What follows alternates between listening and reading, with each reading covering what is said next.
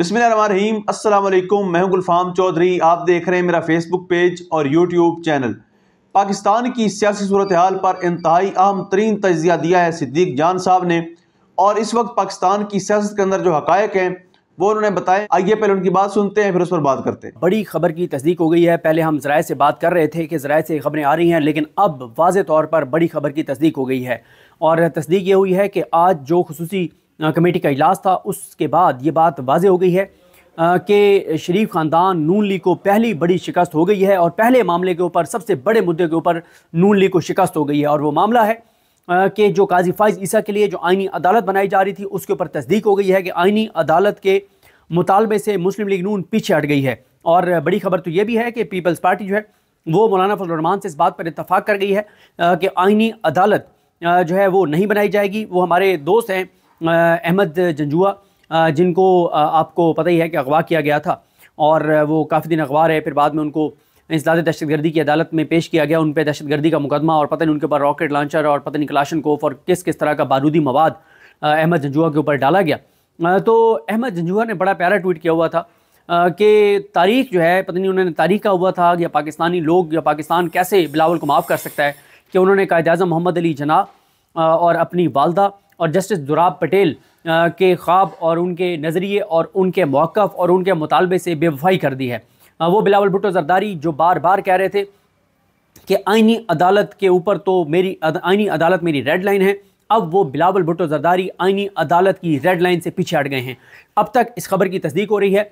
आ, देखें एक तो आ, मैं पहले बताऊँ संजय साजमानी साहब जो हैं जो रिपोर्टर हैं कराची से एयर वाई के रिपोर्टर हैं उन्होंने भी एक खबर एयर वाई पर ब्रेक की है, जिसमें उन्होंने बताया है कि कल रात को जो मुलाकात हुई, उसमें मियाँ नवाज़ शरीफ ने कुछ तहफ़ात का इजहार किया। मौलाना फजलरहमान साहब जो हैं, उनके मसवदे पर। लेकिन बिलावल भुट्टो जरदारी ने कहा कि मैं अब मौलाना साहब को ज़बान दे चुका हूँ, मैं इस ज़बान से पीछे नहीं हट सकता। ये तो है संजय साधवानी की बात, और जो हमारे दोस्त हैं, बशीर चौधरी, उन्होंने भी उर्दू न्यूज़ पर ख़बर लगाई है, और उन्होंने कहा कि उस कमेटी में शामिल एक मेंबर ने नाम ना बताने की शर्त पर ये इस बात की तस्दीक की है कि जो आइनी अदालत का मामला है, वो अब जो है जेर गौर नहीं है। और सबसे पहले ये क्रेडिट जाता है हमारे दोस्त फ़हीम अख्तर जिन्होंने कल रात को ये बात ब्रेक कर दी थी और उन्होंने अपने यूट्यूब चैनल पर ये ब्रेक कर दी थी और उन्होंने बता दिया था कि आइनी अदालत वाले मामले से तो पीपल्स पार्टी पीछे हट गई है। लेकिन ये सारी बातें एक साइड पे संजय साधवानी की खबर एक साइड पे, बशीर चौधरी की खबर एक साइड पे ये फ़हीम अख्तर मलिक की खबर एक साइड पे, हमारे दोस्त तीन वाले जो हैं, रिजवान गलजई, ज़ुबैर अली ख़ान, उमर जट, उनकी खबर एक साइड पे, और आज वैसे उस कमेटी के इजलास के फ़ौर बाद सबसे पहले आई थिंक उमर जट ने जो है ये खबर आज ब्रेक उन्होंने की इस कमेटी के इजलास के बाद के पीछे हट गए यानी जो लाहौर वाली मीटिंग थी, उसके वाले से फ़हीम अख्तर मलिक साहब ने रात को बता दिया था। लेकिन आज जो खसूसी कमेटी थी, उसके बाद उमर जाट ने बता दिया था। लेकिन ये सारे रिपोर्टर एक साइड पर आपको पता है कि ज़्यादा मज़ा उस वक्त आता है जब जो टाउट्स हैं, उन टाउट्स में से कोई टाउट ये बता दे कि हाथ हो गया है, शिकस्त हो गई है। तो टॉप फाइव जो टाउट्स हैं टॉप फाइव टाउट्स में से एक यानी मेरे नज़दीक तो वो नंबर वन टाउट हैं। लेकिन कुछ लोगों के नज़दीक वो नंबर टू टाउट हैं। तो उस टाउट ने भी अब ये कह दिया है कि नून लीग को शिकस्त हो गई है और शिकस्त शिकस्त फाश हो गई है और नून लीग को सरेंडर करना पड़ गया है। और उस टाउट ने भी इस बात की तस्दीक कर दी है कि जो नून लीग है वो उसको शिकस्त हो गई है और आइनी तरमीम में जो आइनी अदालत का मामला है, उससे नून लीग पीछे हट गई है। तो ये उस टाउट को जब मैंने पढ़ा तो मुझे बड़ा बड़ा मुझे, मेरे दिल को सुकून मिला। मेरे दिल को बहुत सुकून मिला कि ये वही टाउट है। ये गंदे, नीच, गलीज, मकरू लोग जो पिछले हमें दो महीने से बता रहे थे कि आइनी अदालत तो बन गई, कम वट में ये तो आइनी अदालत बनेगी, इससे रास्ता वापसी का नहीं है। और ये वही टाउट्स हैं जो पिछले दो माह से मैं बता रहे थे कि नंबर गेम पूरा है, लेकिन अब वही टाउट ये बता रहा है कि नून लीग को शिकस्त फाश हो गई है। इस वक्त तक सूरत यही है, लेकिन ये भी बताया जा रहा है कि मियाँ नवाज़ शरीफ अभी तक डटे हुए हैं, अड़े हुए हैं, क्योंकि मियाँ नवाज़ शरीफ आपको बताया कि वो कहते हैं कि पाकिस्तान की तबाही और बर्बादी के लिए जो कुछ वो करवा सकते हैं वो करवाएँ। वो कहते हैं कि अल्लाह ताला माफ़ करे कि पाकिस्तानियों ने उनको वोट नहीं दिया तो पाकिस्तान को जितना वो तबाह और बर्बाद कर सकते हैं करें जितना पाकिस्तान को नुकसान पहुँचा सकते हैं पहुंचाएँ। क्योंकि उनका मुल्क तो यूके है उनका मुल्क तो उन, उनका उनका उनका तो रहन सहन आगे जो है वो लंदन में। उन्होंने यूके में रहना है लंदन में रहना है असासें बाहर असासे बाहर जायदादें बाहर औलादें बाहर कारोबार बाहर मफाद बाहर इलाज बाहर सब कुछ बाहर सुकून बाहर मज़े बाहर सफ़र बाहर रह रहना वहाँ बाहर। अभी तो मियाँ साहब जो हैं वो अगर नहीं जा पा रहे तो वो इसकी, उसकी वजह यह है कि उनको जाने नहीं दिया जा रहा। वाज तौर पे उनके ऊपर एक गैर एलानिया पाबंदी है उनके सफ़र करने पर, और ये भी हो सकता है कि मियाँ साहब का पासपोर्ट कहीं और लेकर रखा गया हो, कि आप नहीं जा सकते जब तक आप ये आइनी तरमीम नहीं करवाएँगे। लेकिन अब ये बड़ी एक पेशरफ है, और वो ये है कि इससे पहले ये नज़र भी आ गया था कि काजी फायद ईसा साहब को कल रात को ही किसी ने शरीफ ख़ानदान से बता दिया था उनको या उनके किसी फैमिली मेंबर को कि जनाब अल्लाह की मर्ज़ी और माजरत नहीं हो सका और ये शादी नहीं हो सकती।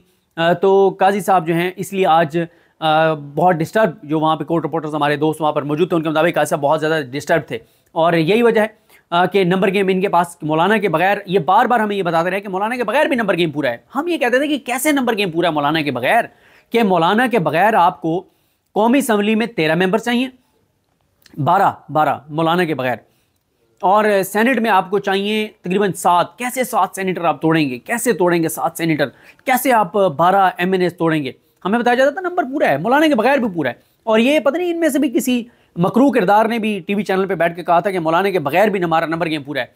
लेकिन अब मौलाना के, ये क्रेडिट आपको मौलाना को देना पड़ेगा। इस क्रेडिट से आप पीछे नहीं हट सकते। बल्कि मैं आपको इंटरेस्टिंग बात बताऊँ कि मैं, वो मौलाना साहब का जो मीरपुर ख़ास वाला जो उनका जलसा था तो वो मे, मेरी एक आदत है और ये जब हम रऊफ़ क्लासा साहब और आमिर मतीन साहब की टीम में थे तो उन्होंने हमें ये सिखाया था कि जब भी आप कोई इवेंट हो तो उस इवेंट की आप पूरी वीडियो देखें उसको पूरी तरह से देखें।